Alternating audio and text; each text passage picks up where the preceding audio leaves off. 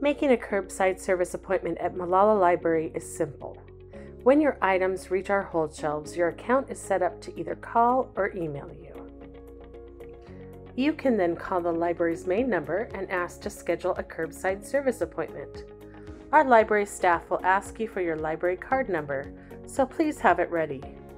They will then give you the times available for the week and sign you up for a spot to come pick up your items. You will be assigned a time and a number for the day. When you arrive at the library, you will enter through the front doors. Simply tell the library staff your assigned number. They will grab your items for you and you can go.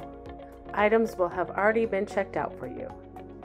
If at any time you need assistance during this process, library staff is always ready to help.